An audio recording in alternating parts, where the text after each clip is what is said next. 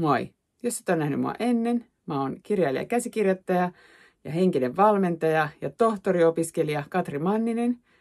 Ja aina kun mä voin, ja nykyään mä taas voin, mä teen tällaisia päivän teorialähetyksiä, joissa mä puhun jostain henkiseen hyvinvointiin, henkiseen pahoinvointiin, ihmissuhteisiin, joskus painohallintaa ja tätä nykyään aika paljon myös ö, opiskeluun ja opinnäytetöihin liittyvistä aiheista. Ja mä vastaan lukijoiden kysymyksiin tai katsojien kysymyksiin ja toiveisiin, joita voit lähettää menemällä osoitteeseen kutri.net. Siellä etusivun alalaidassa on semmoinen kaavake, jolla sä voit laittaa mulle näitä toiveita.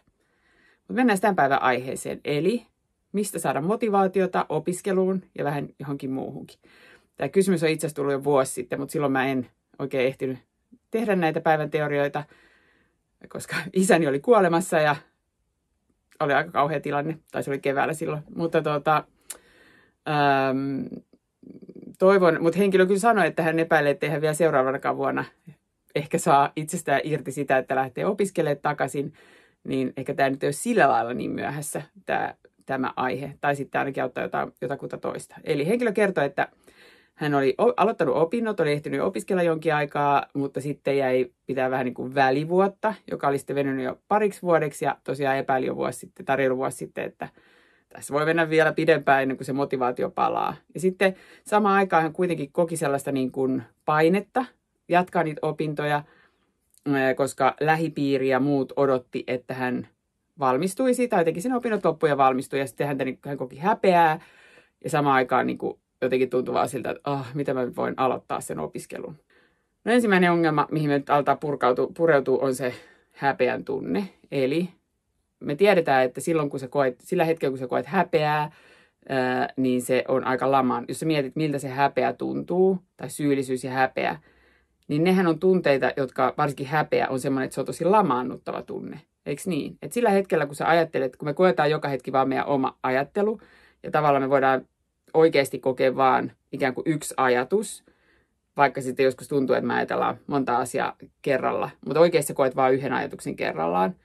Ja kun se sun äh, tietoisen mie- tietoisesti ja sun tietoinen mieli on täyttynyt siitä ajatuksesta, että oi vitsi, mua hävettää, että mä en nyt, että voi vitsi, ne opinnot, työ, tai opinnotkin on kesken ja mua hävettää se niin paljon, niin sillä hetkellä sun, sullahan ei ole mitään energiaa eikä voimaa siinä kehossa, koska se häpeä on semmoinen lamaannuttava, pienentävä tunne, eikö niin? Ja ensimmäinen, me ei valita niitä silleen, mehän ei voida niin kuin, valita meidän seuraavaa ajatusta, tai me ei valita siinä mielessä meidän ajatuksia, että, että vaikka, me, vaikka sä olisit sillä, että nyt minä valitsen, että minä ajattelen vain positiivisesti, niin kun sä et tiedä, mikä sun seuraava ajatus on, niin sä et voi estää sitä ajatusta tulemasta mieleen, niin kyllähän se häpeä ajatus siellä voi putkahtaa. Mutta säkällä nyt kun sä oot katsonut tämän video ja ehkä vähän itse, en mä tiedä, pohdit sitä, kelailet sitä, niin sulla syntyy semmoinen oivallus, että hetkinen, miksi mä tunnen tätä häpeää? No sä tunnet sitä kolme syystä. Miksi, miksi siellä ajattelisit ajatuksia, jotka hä, niin kuin saavat aiheuttavat sinussa häpeän kokemuksen? Koska A, alitajuisesti, sä yrität motivoida itsesi toimia tietyllä tavalla. Sen takia mä aiheutan itsellemme näitä ahdistuksen, syyllisyyden ja häpeän tunteita – vaikka se tuntuu, että mä en sitä aiheuta, ne vaan tulee, se on tämä asia, joka mut pakottaa, niin se on meidän tiedostamaton mieli, joka syöttää meille se ajatuksen siitä, että hei, nyt hävettää, nyt syyllisyys, mitä nyt onkin, miksi en tehnyt tätä. Niin sen takia, että me yritetään motivoida itsemme toimia toisella tavalla. Eli sen takana on hyvä, saattaa olla hyvä ajatus, että nyt mä lähden, nyt ryhdistäydyt, kerää itsesi. Tämä on niin kiu- kamala tämä häpeän tunne, että se voisi nyt motivoida sinut ää, niin kuin päästäksesi pois tästä häpeästä alat toimimaan. Mutta ongelma, niin kuin mä sanoin, ongelma on se, että sillä hetkellä, kun sä tunnet sitä häpeää, niin sulhan ei ole energiaa lähteä toimii, koska se on lamauttava tunne. Eikö niin? Ja tavallaan nähdä se, että hetkinen, nyt kiitos vaan tiedostamaton mieli, annat mulle näitä häpeä, sä annat näitä häpeän tunteita sen takia, että mä alkaisin toimia, mutta haloo tiedostamaton mieli, kun mä, sä annat mulle nämä häpeä ajatukset ja siihen liittyvät tuntemukset, niin silloinhan mä nimenomaan en toimi.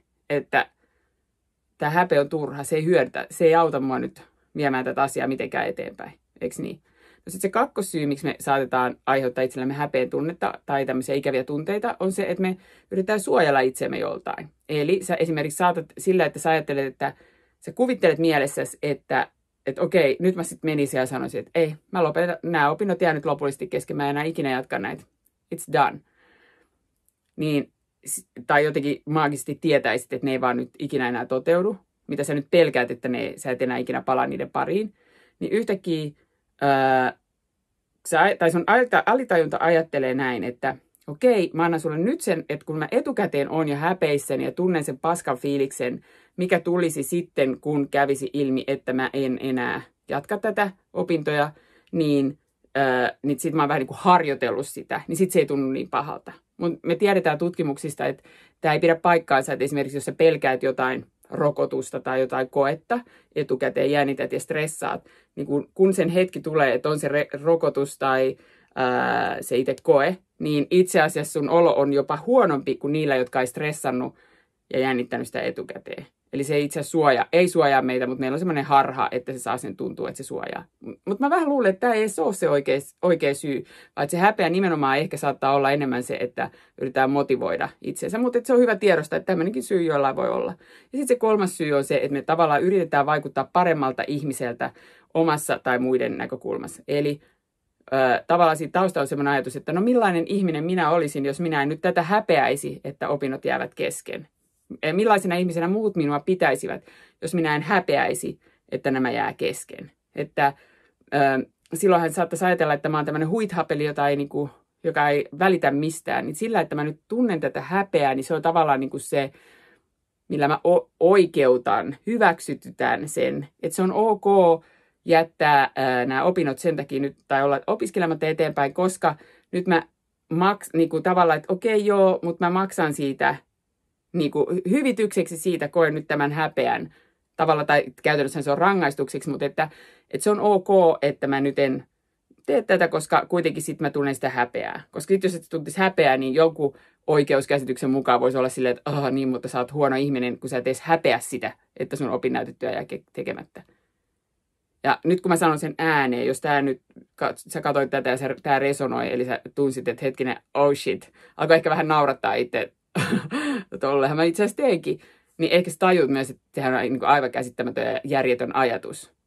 Mutta se johtuu siitä, että ihmismieli ei ole, ei meidän niin kuin, tiedostamaton mieli ole sille rationaalisen looginen, vaan siellä on niin kuin, se oma sumea logiikka, joka tekee tällaisia ihan höpsöjä ajatuksia. Mutta et, ihan ekaksi niin kuin mä haluaisin puuttua nyt siihen häpeän tuntemukseen ja lähteä, niin kuin, että lähde vähän kyseenalaistaa sitä, että hetkinen, mitä tarkoitusta varten mä nyt tunnen tätä häpeää ja syyllisyyttä? Mi- mitä hyötyy, jotain sä hyödyt siitä, että sä sitä muuten tuntisi, ellei sä, tai sun tiedostamaton mieli ei antaisi sulle tätä tunnetta, ellei se jollain tasolla tuntisi, että aa, tästähän on tämä hyöty. No sitten se kakkospointti, öö, minkä mä haluan tuoda esiin, on se, että usein se, mitä me, niin kuin, tai että miksi me emme koe sitä motivaation tunnetta, niin meillä on tavallaan kaksi asiaa, jotka vaikuttaa motivaation tunteeseen. Tai ainakin kaksi asiaa. Se yksi asia on se, että tavallaan, no puhutaan itse asiassa, voidaan puhua kolmestakin asiasta, mutta yksi asia on tietenkin se, että ää, onko sulla semmoinen sisäinen joku semmoinen veto sitä asiaa kohtaan. Että jos kukaan ei saisi tietää, niin mitä sä tekisit? Jättäisit sä ne opinnot kesken? Ja todennäköisesti kuulostaa tämän ihmisen tapauksella, että joo, jos kukaan ei saisi tietää, niin sä jättäisit ne opinnot kesken. Koska jostain syystä ne opinnot, ne näyttää, ne ei ole sulle, tai mahdollisesti ei ole, riittävän kiinnostavia. Ne ei herätä sun uteliaisuutta, sä et saa sieltä jostain syystä tyydytystä. Ja me tullaan kohta siihen, että miksi sä et ehkä saa tyydytystä, eli est, myös se motivaatio esteisiin. Ja sitten toisaalta, no tässä tapauksessa kuulostaa siltä, että sulla on tosi vahvat ulkoiset motivaattorit, eli siellä on se ulkoinen vahva paine lähipiiristä, että hei, nyt sun pitäisi valmistua. Mutta ilmeisesti se nyt ei vaikuta esimerkiksi sun taloudelliseen tilanteeseen, ja sen takia sä et ehkä valmistu.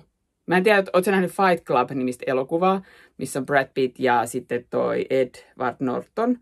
Ja siellä on semmoinen kohtaus, nyt mä spoilaan, se on niin vanha leffa, että jos et ole katsonut, niin, niin e, e, e, että tavallaan, että on, olet ehtinyt katsoa se moneen kertaan, Fight Clubissa on sellainen, missä nämä löytää jonkun jätkä, joka on ollut tyyliin, muistelisinko mä, että olisiko se ollut joku tällaisen, niin kuin, ei nyt huoltoaseman myyjä tai jotain, nuori Jannu, ja sinne rahaa sen sinne ulos pihalle, ja sitten Brad Pittin hahmo osoittaa sitä jätkää päähän ja sille, että, että nyt mä ammun sut, että mitä sä haluaisit tehdä, aiku, niin kuin, mitä sä haluaisit tehdä aikuisena, mitä sä haluaisit tehdä isona.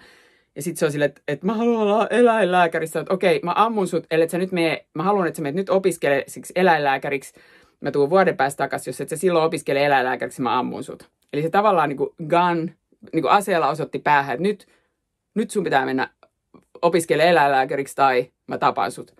Ja todennäköisesti, elokuva ei sitä kerro, mutta aivan todennäköisesti jätkä todellakin meni pelkäs niin paljon, että se meni ja niin kuin opiskeli eläinlääkäriksi, koska nyt siellä oli se ase, joku oikea, todella ulkoinen pakottava syy opiskella eläinlääkäriksi. No sulle ei tällaista todennäköisesti ole, koska sä et nyt ole opiskelemassa loppuun, mitä sun piti opiskella.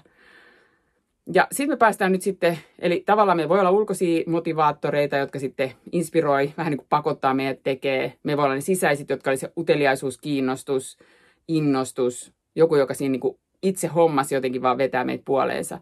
Mutta sitten mikä kolmas me voi olla, ö, on sit, tai siis kolmas pointti on sitten nämä motivaatioesteet. Ja se, että ö, voi olla just näitä, niin kuin periaatteessa häpeäkin voi olla este, tai voi olla juuri käsityksiä, että aa, mutta en minä ole sen arvoinen, tai en minä ole tarpeeksi hyvää, tai ei minusta ole tähän, jolloin se on sun omaa henkiset esteet, sun omat ajatukset, jotka estää sua tekemästä sitä asiaa.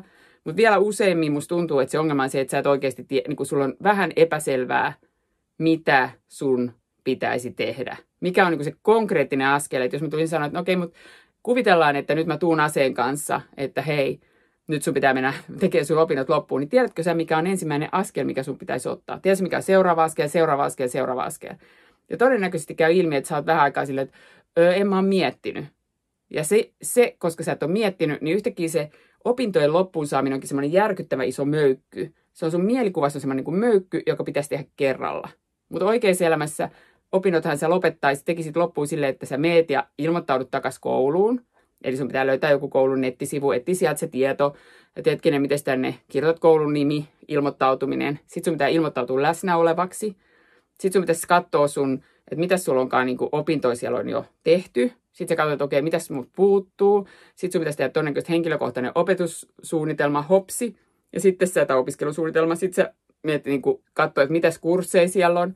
Ja joo, siinä on aika paljon askeleita, joita pitää ottaa, mutta että se ne otetaan ne askeleet aina yksi kerrallaan. Ja, ne, ja sitten tavallaan, jos sä alat näkee, että a, niin e, eihän mun tarvikaan niin valmistua kerralla, vaan että se on niin kuin, että mun pitää ottaa tämä yksi askel, toinen askel, kolmas askel, ja sitten sä otat niitä askeleita pikkuhiljaa. Ja sitä kautta se voi yhtäkkiä, sä et oikeastaan edes tarvitse oikeita, muuta kuin sen verran motivaatio, että sä jaksat mennä sinne googlaamaan, että ilmoittautuminen Aalto-yliopisto mitä mä esimerkiksi teen joka vuosi, kun en ikinä muista missä on. Mä ilmoittautunut Aalto-yliopistoon ja sitten mut ohjataan johonkin oilipalveluun tai vastaavaa ja sitten mä ilmoittaudun siellä. Niin tuota, teet sen ja sitten niin kuin vaan että kurssisuunnitelmat tai otat kouluun yhteyttä johonkin ihmiseen, joka auttaa sua sitten, mm, en tiedä, onko Samanuen seenä, missä, mutta kuitenkin niin auttaa sut sitten suunnittelemaan tai joku opintosuunnittelija, niin että miten ne opinnot suunnitellaan. Ja sitten tavallaan usein niin kun mun tämä vai henkisen valmentamisen tai transformatiivisen valmentamisen pääopettaja Michael Neal, niin silloin tällainen äh, laus, lause kuin Where's the will, there's the way. Missä on, äh, sorry, where's the way, there's the will. Eli missä on tie, siellä on tahto. Kun se perinteinen sanonta on, missä on tahto, siellä on tie. Niin se, että kun me nähdään tavallaan, että aa, näähän on niin ne askeleet, joita pitäisi ottaa, niin sitten sun on paljon helpompi sitten se yhtäkkiä alkaakin löytyä sitä motivaatiota, kun se onkin sulle selkeää ja helppoa. Että aa, ton mä teen ja ton mä teen ja ton mä teen. Ja toki sitten voi olla tällaisia, että jos sä oot masentunut, jos sulla on jotenkin kilpirauhasen vajaa toimintaa, alhaiset ferritiinit, alhainen D-vitamiini, tosi kaoottinen elämäntilanne, niin kaikki tällaista vaikuttaa sitten siihen, että sulla ei niin kuin ehkä ole sitä energiaa ja jaksamista tehdä sitä. Että se on sitten se niin kuin ehkä toisen tyyppinen este sille, että miksi, miksi sä et sitten saa miksi tuntuu, että ei ole motivaatiota tehdä niitä opintoja loppuun. Mutta mä toivon, että tämä antoi sulle nyt sen niin kuin yleiskäsityksen siitä, että aivan, että ensimmäiseksi päästetään nyt irti näistä häpeän tunteista. Ne ei hyödytä sua mitenkään. Niillä on hyvä tarkoitus, mutta, mutta se ei, sorry, se on hyvä tarkoittavat tunteet, mutta ei, ei ne hyödytä. Niin kokeile päästään niistä irti ja rauhoittuu. Ja sitten mä suosittelen, että me katsoo, vaikka sä vielä sitä mieltä, että en mä aio tehdä näitä opintoja loppuun ja mä saa tehtyä loppuun, niin käy huviksesi katsoa, että – hmm, miten sinne kouluun ilmo- ilmoittaudutaan läsnä olevaksi. Itse asiassa, no okei okay, joo, sä joudut ehkä maksaa sen opintomaksun, mutta että voithan se kokeilla huviksesi ilmoittautua läsnä olevaksi, jos sulla on sen verran ylimääräistä rahaa, mitä siihen tarvitaan. Ja sitten et vähän, tai sitten ainakin meitä kattelee, että no jos mä menisin nyt jatkaa näitä opintoja, niin mitäs kursseja mun pitäisi oikein, mitäs kursseja, mitäs pitkällä mä jo oon? Ai jaa, mullahan on aika paljon näitä kursseja Ja okei, okay, miten paljon kursseja mun pitäisi vielä tehdä? Ai jaa, no täällä on ihan kiinnostavia kursseja. Ja sitä kautta voit ehkä sitten päästä kiinni siihen, kun se tulee konkreettisemmat selkeät askeleet. Ja nyt, jos, saat, jos on kiinni enemmän siitä opinnäytetyön tekemisestä, niin minullahan on nyt tämä myynnissä tämä opinnäytetyökurssi, jossa muun muassa on, että kurssilaiset voivat saada tai ladata itselleen tämmöisen 146 tehtävän listan, jossa on listattu yleisimmät tehtävät ja myös selitetty, että mitä nämä tehtävät on, jotka kuuluu jokaiseen opinnäytetyöhön, tai jokaiseen, mutta yle, yleisesti opinnäytetöihin. Ja siellä lähdetään tosi sieltä, niin kuin, todella siellä lähdetään se hopsin päihittämiset, sun muut käydään siellä alussa läpi. Niin vaikka sulla olisi nyt opinnot ollut vuosikausiakin pois niin kuin kesken, niin mä väitän, että jos se kun sä meet ja katsot se opinnäytetyökurssin niin kuin joku johdannon, missä teen selväksi, että opinnäytetyön tekeminen on helppoa. Sitten sä katsot sen tehtävälistan. Joo, se on pitkä, mutta tavallaan usein, tai ne tehtävät on sellaisia, että sun pitäisi pystyä tekemään ne niin kuin, jotkut sä teet niin kuin oikeasti kymmenessä, kymmenessä minuutissa, joihinkin voi mennä puoli tuntiikin tai ehkä päivä. Niin sitten sä tajut, että niin, mutta eihän nämä itse askeleet ole kauhean isoja. Ja sitten sä voit katsoa sieltä sen, no siellä on paljon kaikkea, millä löydetään tutkimuskysymykset sun muu, mutta sä voit katsoa vaikka ne tieteellisen ää, ää, niin kuin tieteellisen tekstin palikat ja kysymykset. 30, 10 tiete, tieteellisen tekstin peruspalikkaa ja 32 kysymystä, joihin se vastaa. Sitten sä näet, että aa niin, mutta eihän tämä tekstikään nyt ole niin vaikeaa. Ja sitten siellä on mahtavat Sotero-opas, joka vielä näyttää sulle, että miten sä voit ää, hallita sitä tutkimuskirjallisuutta. Ja sitten sä oot sieltä, aah, niin, että eihän tämäkään ole niin vaikeaa. Ja sitten nyt on tullut seuraavaksi, teen tuosta viitekehoksista ja teoriasta, koska monelle se on niin se ongelma, tai pitää tehdä kirjallisuuskatsaus, niin katsot sen, niin sä oot silleen, että aah, nyt tämä teoreettinen viitekehyskin on tosi helppoa. Ja sitä kautta, ja sitten siellä on vielä erikseen video henkisistä esteistä, että jos sulla on se epäonnistumisen pelko tai huijarisyndrooma tai mm, perfektionismi esimerkiksi on esteenä sun niin kuin opintojen jatkamiselle, niin niihinkin löytyy sieltä ratkaisu. Plus sitten vielä ajan, ajan, niin kuin ajan energiaa ja keskittymisen hallintaa käsittelevä luento. Ja sitä kautta, että, että mä niin kuin yritän itse sillä opinnäytetyökurssilla antaa sulle tien tehdä se opinnäytteen, niin kuin näyttää sulle, että hei, tässä on tosi helppo tie. Mä oon tasannut tämän, täällä on vähän niin kuin, osin on semmoisia, tietysti kun ö, lentokentällä on niitä sellaisia rullateitä, jotka niin kuin, että se ei rulla portaat, vaan ne menee suoraan vaakatossa, niin se on vähän niissä rullateitäkin, että sä voit siellä vähän dym, dym, mennä vaan, ei tarvitse itse tehdä kauheasti hommia, niin, niin tota, sillä yritän itse laskea sitä kynnystä sitten ihmisille, että sä et tarvitsisi niin jär, jäätävän paljon sitä motivaatiota ja jotenkin drivea ja itsekuria sen opinnäytetyön tekemiseen. Ja kyllä siitä on apua myös sitten aiemmissakin opiskeluvaiheissa, mutta enemmän se on suunnattu sinne. Niin se voi vielä myös sitten tsekata. Mutta mä toivon, että tästä on nyt apua, hyötyy, sait vähän uusia näkökulmia ja tietenkin, että ehkä jopa näkökulmia jonkun muun jutun tekemiseen, mitä, mitä et muuten tekisi. Mutta laita kommenttia alle, mitä ajatuksia tästä ehkä heräs. Ja kutri.net, sieltä voi laittaa niitä toiveita. Ja opinnäytetyökurssi löytyy osoitteesta kurssit.kutri.net. Toki löytyy myös se kutri.netin etusivulta linkki sinne. Mut kiitos, että katsoit. Tsemppiä vaan opintoihin. Moikka!